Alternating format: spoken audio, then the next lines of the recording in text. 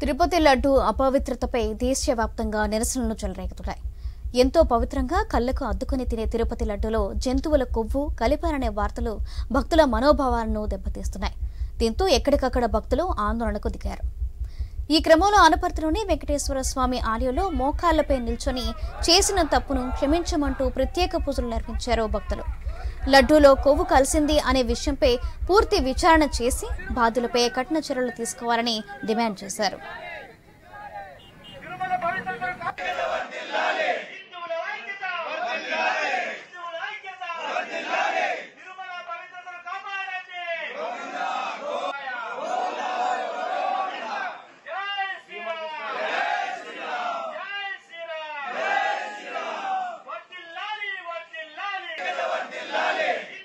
కలియుగ దైవము శ్రీ వెంకటేశ్వర స్వామికి కోట్లాది మంది భక్తులు ఈరోజు ఏదైతే వార్తలు బయటకు వచ్చాయో ఇది స్వామివారి భక్తులకే కాకుండా యావది హిందూ సమాజానికి ఒక ప్రమాద గంటికల్ని మోయిస్తున్నాయి. స్వామివారి ప్రసాదంలో స్వామివారికి పెట్టే నైవేద్యంలో భక్తులకి ఇచ్చే ప్రసాదంలో పంది కొవ్వు కలిపారు అనడం వింటూ ఉంటే అసలు ఇక్కడ హిందువులకు ఒక హక్కు ఉందా హిందువులు ఈ దేశంలో ఉండాలని వీళ్ళు భావిస్తున్నారా? లేకుంటే వీళ్ళు ఎక్కడైనా తరిమేయాలనుకుంటున్నారా? అర్థం కావటం లేదు.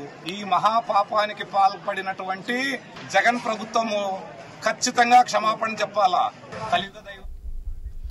కర్నూలు జిల్లా ఆదోళనలోను విరాట్ హిందూ సంఘాలు ఆందోళనకు దిగాయి. శ్రీవారి లడ్డూను అపవిత్రం చేస్తారంటూ కలెక్టరేట్ ఎదుట నిరసన వ్యక్తం చేశారు. అనంతరం మాజీ సీఎం జగన్ దిష్టిబొమ్మను దహనం చేశారు. ఘటనకు పాల్పడిన వ్యక్తులను కఠినంగా శిక్షించారంటూ డిమాండ్ చేశారు.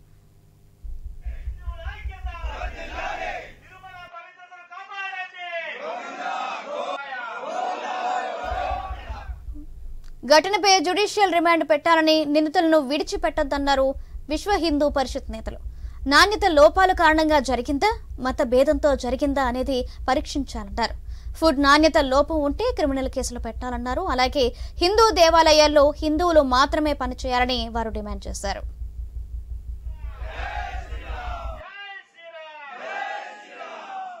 తిరుమల పవిత్రం అపవిత్రం చేసేటువంటి శిక్షించాలి.